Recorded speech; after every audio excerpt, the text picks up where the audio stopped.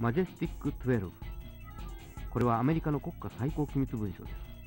これには UFO や宇宙人に対してアメリカがどのように接触してきたかが書かれています。今までアメリカ政府と軍が隠し続けてきた重要書類がなぜ外部へ持ち出されたのでしょうか。またマジェスティック12発足の発端となったロズウェル UFO 墜落事件についても事件が風化するにつれ関係者の証言が得られるようになりました。ロズウェル事件とマジェスティック12どうやらここから政府や軍の隠蔽工作が始まったらしいのです。国家最高機密文書マジェスティック12それはロズウェル UFO 墜落事件の真相や歴代の大統領とマジェスティック12との関係さらに宇宙人との秘密協定まで克明に記されている極秘文書である。UFO と宇宙人についての暫定的な結論と所見が記載されている。これは1984年12月 UFO 研究家ジェームス・シャンドレーに届けられた小包である。小包の中身は未現像のフィルムで現像してみるとそこには数十ページにわたって秘密組織の存在を証明する書類が撮影されていた。この書類こそ国家最高機密文書マジェスティック12だった。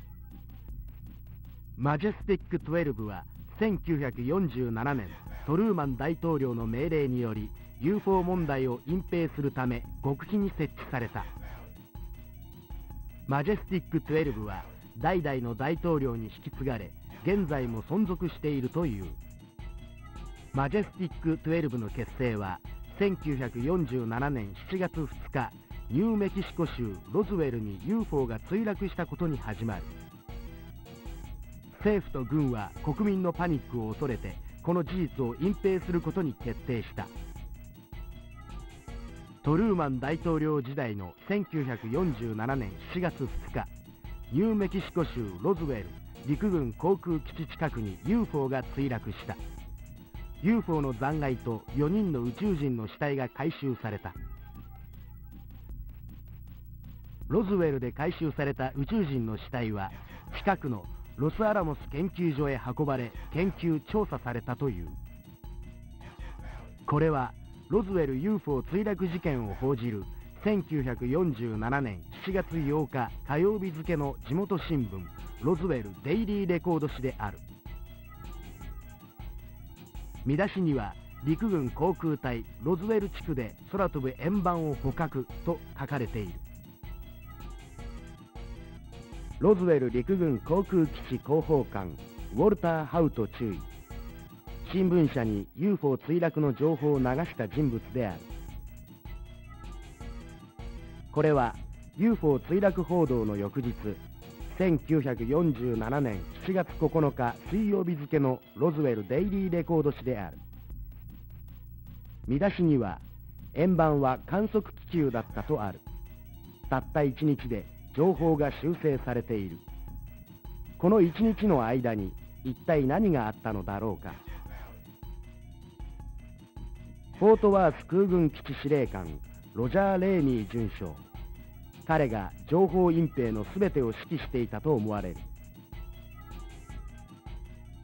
UFO 墜落の事実を隠蔽するために当時の大統領トルーマンのもと1947年9月政府と軍は UFO 問題を処理する特別委員会マジェスティック12を設置した。これはマジェスティック12初代メンバーの一覧である。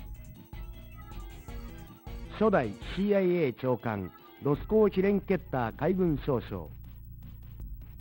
物理学者バネバー・ブッシュ博士。前第20空軍司令官ネイサン・トワイニング空軍大将。生理物理学デトレフ・ブロンク博士。OSS 部長ホイト・バンデンバーグ空軍中将。航空工学ジェローム・ハンセイカー博士。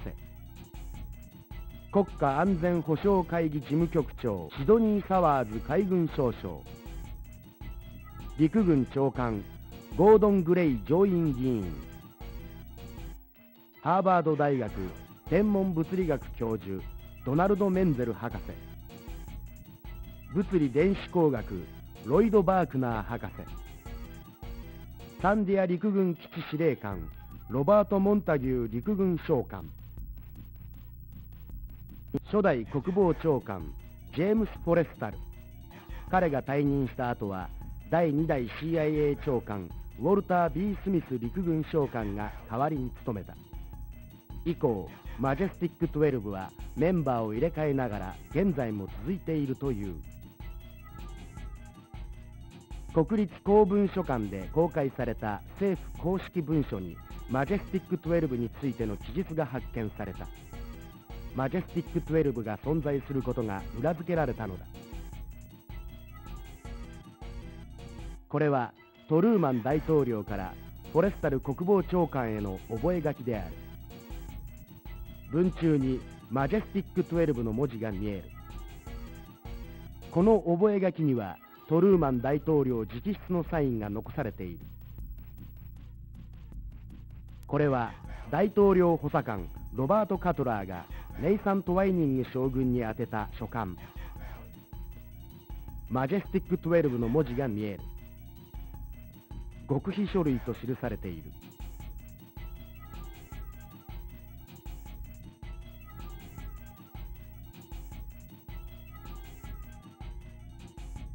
ロズウェル陸軍航空基地情報部ジェシー・マセール少佐。彼が最初に残骸の回収作業をした。彼は UFO の秘密回収部隊を指揮していた。ジェシー・マセール少佐の長男によるとマセール少佐は残骸をトラックに積んで自宅に持ち帰った。残骸はアルミ箔のように薄くて曲げても折り目がつかない不思議な金属だったという。一見バルサ材のように軽くて信じられないほど丈夫な柱状の物質の表面には象形文字のような模様が刻まれていたという。墜落した UFO の第一発見者マック・グラーセル。彼の息子は軍の回収作戦後墜落現場で破片を拾ったが結局軍に没収されたという。他にも UFO の破片を持っていた人はいたが全て軍に没収された。これはロズウェル事件に関する1947年7月6日付の FBI 報告書である。ロズウェルの新聞より1日早い段階で作成されている。これには UFO 墜落の事実が書かれている。UFO の残骸はライト・パターソン基地へ運ばれたと報告されている。オハイオ州デイトン市にあるライト・パターソン空軍基地。ここに UFO の残骸が運び込まれた。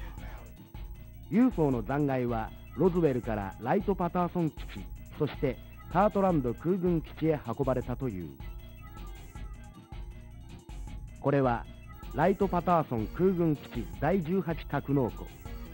ここは上院議員ですら立ち入りを拒否されるところである。今なお重要な秘密が隠されているのだろうか。ロズウェルの墜落現場から回収されたこれらの宇宙人たちはイーディまたはイーバ地球外生物と呼ばれた。これは第一発見者マック・グラーセルの息子ジェラルド・グラーセルが描いた宇宙人のスケッチ。宇宙人の身長は1.5メートルぐらいで皮膚は灰色。腕は異様に長かった。UFO の破損部分からむき出しになった複雑な内部構造が見えた。UFO は非常に軽くて硬い未知の物質でできていたという。やがて軍隊が大慌てで現場に駆けつけてきた。赤毛の大尉と黒人の軍曹が高圧的な態度で見物人を追い払った。赤毛の大尉はここで見たことを他で話すなと脅迫したという。UFO の残骸と遺体生き残った宇宙人はどこへ運ばれていったのだろう。マジェスティック12文書によると第一墜落現場から西へ2マイル離れた場所に第二墜落現場があったという。そこでも宇宙人は回収されたのだろうか。陸軍技術部隊に所属していたバロー・キャシディはジェシー・マーセル少佐と行動を共にしていた。彼は UFO の残骸を片付ける極秘任務を与えられていた。彼の娘たちの目撃証言によると墜落現場では軍の医者が宇宙人たちを調査していた。軍医たちは地球上の生物とは全く異なる宇宙人たちの治療方法がわからないようだったという。結局宇宙人たちはヘリでどこかに運ばれていった。生き残った宇宙人はその後もロスアラモスの秘密施設で生存していたという。バロー・キャシディとマセール少佐は UFO 墜落事件に深く関わっていた。その後バロー・キャシディは不可解な事故で急死した。